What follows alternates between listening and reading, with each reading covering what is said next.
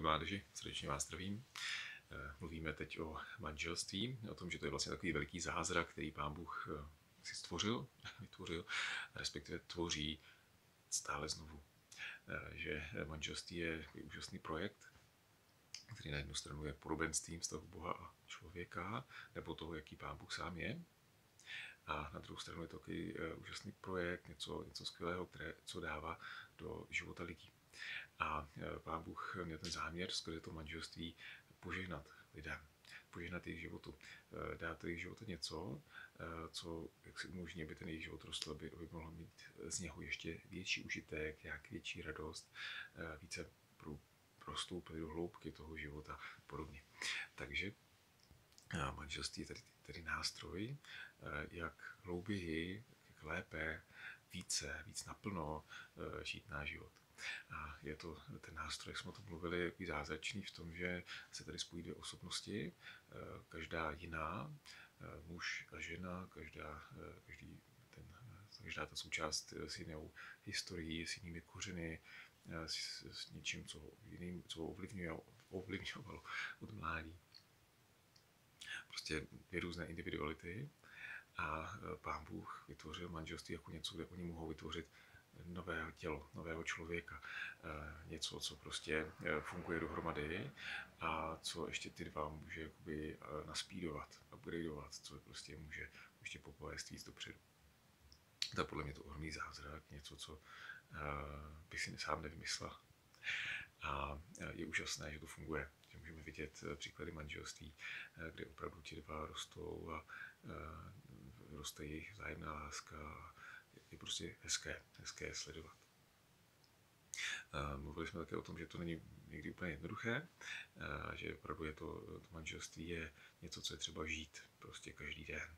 Je možné o tom psát články, číst o tom různé knížky a podobně, ale to, to nejjednodušší a také někdy nejtěžší je to manželství žít, aby člověk opravdu do toho vstupoval naplno a to to proměňovalo, protože stejně tak, jako je každý člověk individuum, je jedinečný, eh, že nemá na světě eh, někoho, kdo by byl úplně stejný jako on a Bůh s ním také jako s naprostým originálem jedná, tak je to i s manželstvím, že každé manželství je vlastně originál.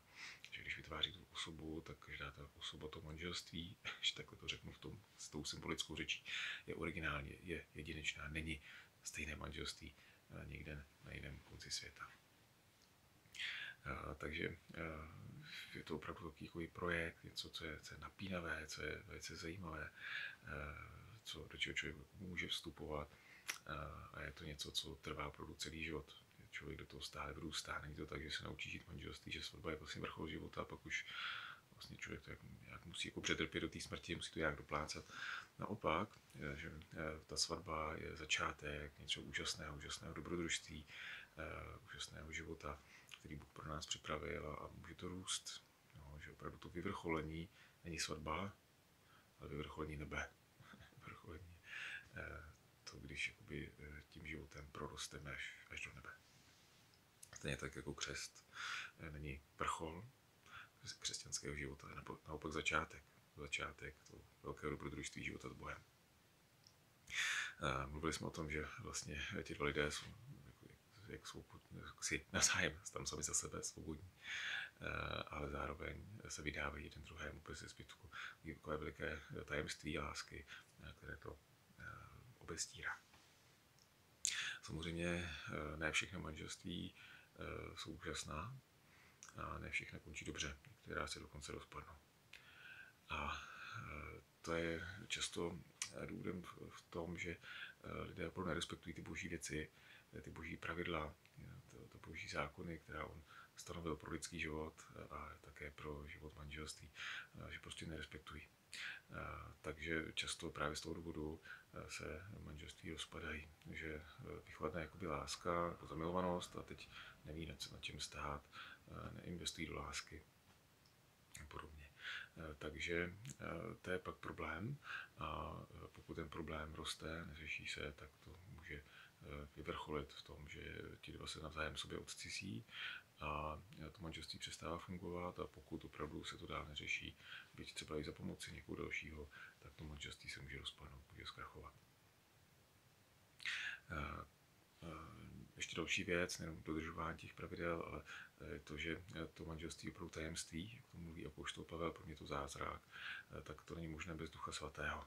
Jo, že manželství, stejně jako jiná život, pokud chceme žít dobře před Bohem, tak není možné bez moci Ducha Svatého. A pokud opravdu v tom manželství na něj nespoléháme, nespoléháme na Boha, nestavíme to manželství společně s Bohem, s ním a skrze něj a pro něj, tak vlastně ten projekt je dost vážně ohrožený. Takže tady je třeba opravdu spolehat na tu boží pomoc, na tu boží moc. No a pokud i tady to se vytratí, nebo to tam není přítomné, nebo že ten jeden nevěřící, druhý nevěřící, tak potom jo, je to opravdu, opravdu velice, velice složité, velice těžké.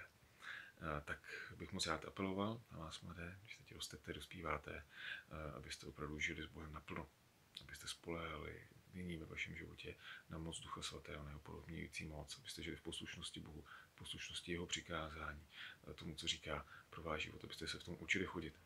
Protože až pak vstoupíte v manželství a budete to umět takhle žít s Bohem, tak to pro vás nebude žádný problém. Prostě začnete přirozeně tvořit toho druhého člověka, toho společného člověka, tak, jak Pán Bůh si přeje. Takže právě ta příprava na život manželství je vlastně už začíná od malička, té doby, kdy začínáte jakoby žít, zpívat, učíte se poznávat své dary obdarování, vstupujete do toho, stáváte se sami sebou a zároveň se učíte žít tady v tom s Bohem, v něm, skrze něj a pro něj, tak to je naprosto nejúžasnější příprava na manželství a je to ta největší záruka, asi úplně říct nemůžu, prostě něco, co, co vám dodá nejlepší prostě přípravu na to, aby to manželství mohlo fungovat, mohlo dobrý a mohlo vydržet opravdu na celý život a mohlo naplnit všechny ty úžasné záměry, všechny ty bonusy, který Pán Bůh pro vás připravil, že pak můžete sebrat, protože pak to funguje, je to dobrý. Tak vám přeju, abyste se měli dobře i dnešní den.